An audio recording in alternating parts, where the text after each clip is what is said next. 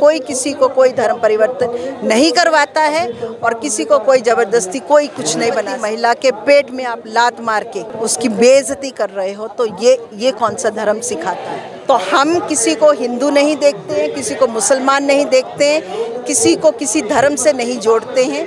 अगर आप सही, अच्छे हिंदू हो तो आपको अपने धर्म की भी श्रद्धा है और उतनी श्रद्धा आप दूसरे धर्म को भी दिखाते हो। जिन्होंने जो नारे लगाए हैं, वो बहुत कम संख्या के लोग हैं और मुझे शर्म आती है ऐसे लोगों पर कि वे भारत में पैदा हुए, कि वो भारतीय हो ही नहीं सकते।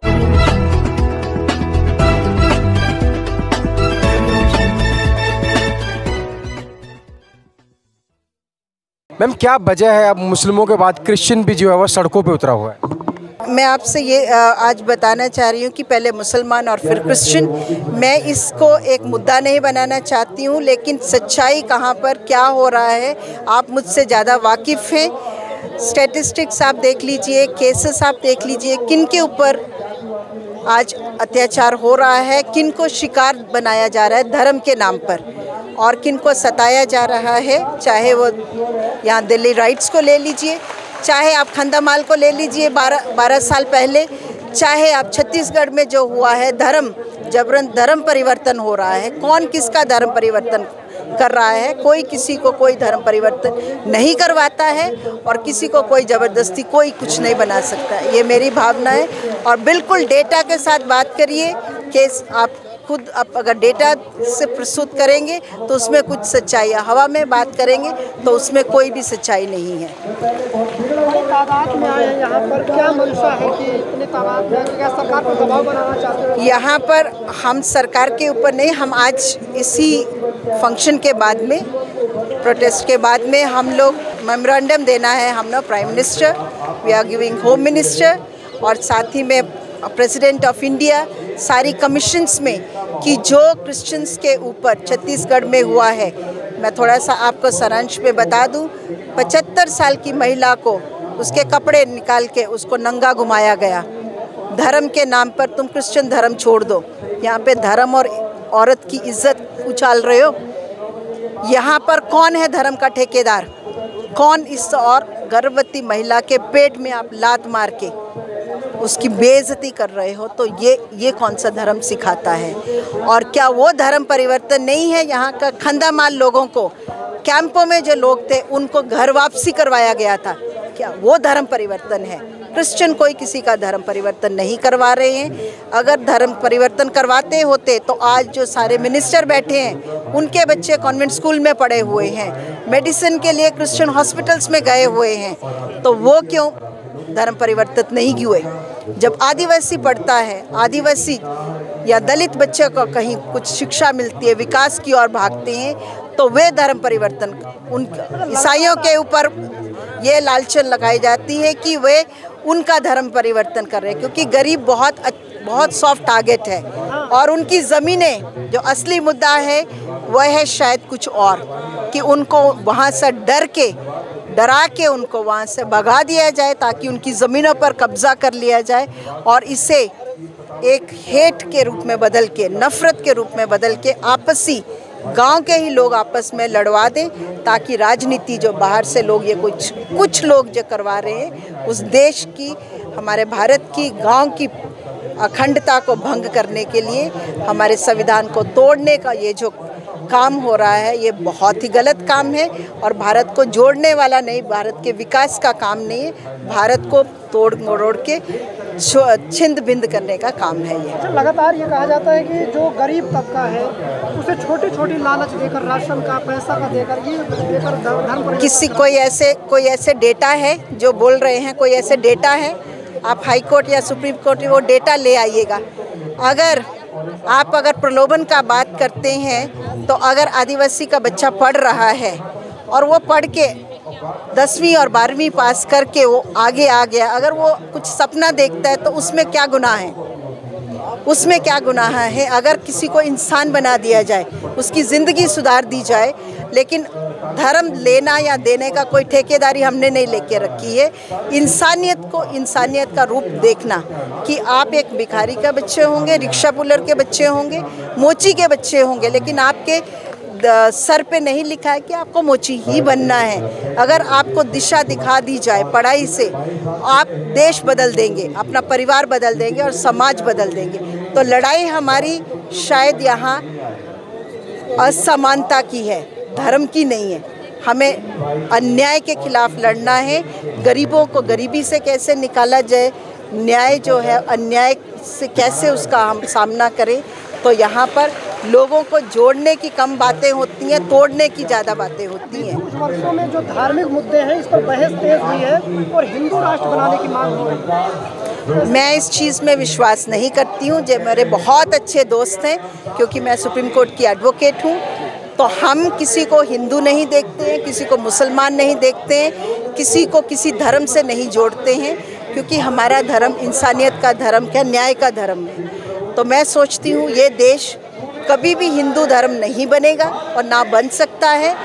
हाँ आप कुछ लोगों को उछाल सकते हो उनके दिलों में गलत भावनाएँ डाल सकते हो उनको दूसरों के प्रति दूसरे धर्मों के प्रति जब आप नफरत फैलाते हो you are not a good Hindu अगर आप सही अच्छे हिंदू हो तो आपको अपने धर्म की भी श्रद्धा है और उतनी श्रद्धा आप दूसरे धर्म को भी दिखाते हो। जिस दिन आपके दिल में दूसरे धर्म के प्रति श्रद्धा खत्म हो जाती है उस दिन आप, आप, आप के अंदर धर्म हो ही नहीं सकता। हिंदू राष्ट्र की बात की जा रही है अगर हिंदू राष्ट्र बन गया तो क्या बदल जाएगा? वो तो राजनीति बता पाएगी कि क्या बदलेगा। मैं मैं नहीं चाहती हूँ और मैं मुझे नहीं लगता है कि ये भारत जो गुलदस्ता है मेरी यहाँ पे 21 तारीख को हमने प्रोटेस्ट करी थी महिलाओं के साथ जिसमें एक्टिविस्ट एडवोकेट सारे पूरे उन महिलाओं के खिलाफ खड़े थे छत्तीसगढ़ की जिनके साथ गलत काम हुआ। धर्म परिवर्तन को लेकर। और हमारा धर्म महिलाएँ तो महिलाएँ हैं मानव अधिकार तो मानव अधिकार है। भारत को कभी भी हम हिंदू धर्म में नहीं देखेंगे, ना होगा, क्योंकि भारत का जो संविधान हमें मिला हुआ है, अखंड we are a country with religions with caste colour creed और वही मैंडेट जो है, संविधान मुझे फ्रीडम देता है। मैं किसी धर्म को मानूं, किसी जगह पे रहूँ, कोई भी व्यवसाय करूँ freedom of expression is what is my mandate, and that will stand. And right to freedom of religion जो है, वो हर एक व्यक्ति का मैंडेट है। वो कोई उसको छीन नहीं सकता है, कोई उसको जपत नहीं कर सकता। हाँ उसको हम गलत तरीके से लोगों को गुमराह ज़रूर कर सकते हैं अपने पॉलिटिकल माइलेज के लिए। थोड़े समय के लिए मुझे फ़ायदा मिल जाए लोगों को लड़ाने के लिए। लगातार एक बात उछाली जा रही कि संविधान खतरे में है खतरे में है। आपको भी लगता है संविधान मुझे संविधान खतरे में क्यों है? जब जब हम आदिवासियों के ऊपर प्रहार करेंगे दलितों के ऊपर प्रहार करेंगे उनकी सुविधाओं को छीनेंगे शिक्षा को छीनेंगे उनकी सुविधाएँ जो मैंडेटरी हैं उन्हें देने की, उनको छीन रहे जो बाबा अंबेडकर ने हमें दी हैं, बड़े सोच समझ के हमारा संविधान उन्होंने, विश्व के संविधानों को पढ़ के उन्होंने ये संविधान हमें दिया है। सबसे बेस्ट संविधान second best constitution in in the world we है अगर उन्होंने वो संविधान हमें दिया है तो उसको हमें मेंटेन करना है। तो राइट टू फ्रीडम जब उसका यहाँ पर भ्रष्ट कर रहे हैं, उसको तोड़ मरोड़ कर रहे हैं। तो हम संविधान को तोड़ मरोड़ रहे हैं। जब हम लोगों की आवाज़ को फाइव पिलर्स जुडिशरी को जब हम सप्रेस कर रहे हैं मीडिया को सप्रेस कर रहे हैं we are breaking the constitution that's what I say we are playing with the constitution our mandate which is given to us as republic of India we the people of India हाँ मैं भारत की हमने अपने आप को अपना संविधान दिया है। तो हमें उस संविधान को जोड़े रखना है मज़बूत करना है और उस पर चलने का ही हमारा विकास का रास्ता है भाईचारे का। बहुत अच्छा संविधान दिया अच्छा लेकिन एंकर हैं रिपोर्टर हैं सुधीर चौधरी और बहुत सारे लोग हैं जो कहते हैं कि संविधान कॉपी पेस्ट है। जिन्होंने कहा है ये कॉपी पेस्ट है। तो वो ये भी बता दें कि, कि कहाँ से कॉपी पेस्ट है। वो स्कॉलरली बंदा ये भी बता दें किसका स्कॉ- अगर उन्होंने कहीं if they study slavery slavery को अगर हमें गांधी अबॉलिश करने के लिए बोला we have already abolish slavery है ना? तो हमारे यहाँ पर ट्रैफिकिंग ह्यूमन ट्रैफिकिंग की आप बात करते हो वुमेन एम्पावरमेंट की बात करते हो चाइल्ड राइट की बात करते हो तो ये सारे राइट्स हमें कॉन्स्टिट्यूशन से मिल रहे हैं। Freedom of religion free right to life हम सबको राइट टू लाइफ है कि मुझे ज़िंदा रहना है और ज़िंदा रहने के लिए हमें सारी सुविधाएँ मिलनी है okay so that's why for me it's best constitution and we will continue to safeguard अच्छा आप लोग जंतर मंतर पर प्रदर्शन कर रहे हैं, बड़ी तादाद में, लेकिन यहीं पर एक प्रदर्शन हुआ अभी कुछ दिन पहले, जिसमें नारे लगाए गए संतों की तरफ़ से कि मुसलमानों और ईसाइयों को कब काटोगे जिन्होंने जो नारे लगाए हैं, वो बहुत कम संख्या के लोग हैं, और मुझे शर्म आती है ऐसे लोगों पर कि वे भारत में पैदा हुए, कि वो भारतीय हो ही नहीं सकते।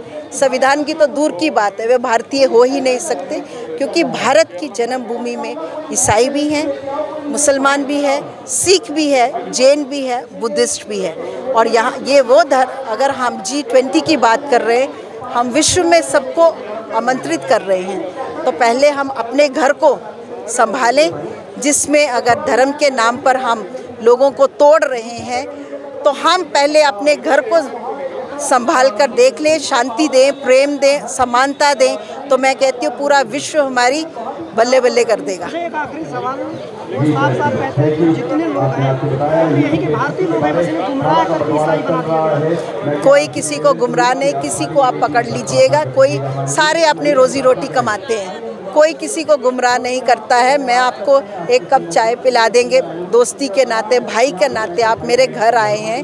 और एक मैं उदाहरण दूँ, यहीं का केस चल रहा है, द्वारका नजफगढ़ की तरफ़। अगर एक आप अपनी कमाई से एक परिवार जो क्रो- कोरोना में जिसका रोज़गार चला गया, अगर आप पाँच भाई मिलके एक रिक्शा वाले को एक रिक्शा खरीद देते हो और कहते हो कि भाई अपनी रोजी रोटी चला तो क्या अगर आप में से एक हिंदू है, एक मुसलमान है, एक सिख है, एक ईसाई है, चारों ने कहा चलो हम पाँच पाँच हज़ार रुपया डालते इस बंदे को, पचास हज़ार रुपया करके रोजी रोटी चलते।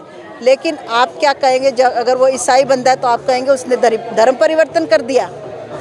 उस बंदे को रिक्शा दे के धर्म परिवर्तन कर दिया। तो ये हैं केसेस जो झूठे केसेस लगाए जा रहे हैं हमारे पादरियों पर, संस्थाओं पर, जो मदर ट्रीसा ने अच्छे काम किए, बच्चों को कोड़ियों को उठा उठा के और उन्हीं के, उन, उन्हीं के घरों को, उन्हीं के इंस्टीट्यूट को घेराव किया गया कि ये बच्चे बेचती हैं। Mother Teresa is a well known international figure तो जब उनके ऊपर इल्ज़ाम इतने बड़े लग सकते हैं तो मुझे इसके बारे में कुछ नहीं कहना है। सिर्फ़ गलत चीज़ों को और गलत चीज़ें बहुत देर तक नहीं टिकती हैं, क्योंकि सच्चाई जो है वही पनपेगी।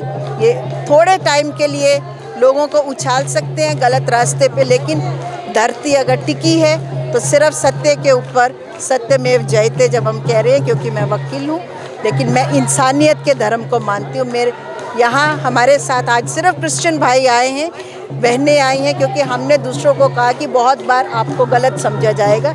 आज सिर्फ़ और सिर्फ़ क्रिश्चियन प्रदर्शन होगी। तो इसलिए मेरा सपना, मेरा भारत महान, जो एक सोने की चिड़िया है, हम उसी को बनाएँ।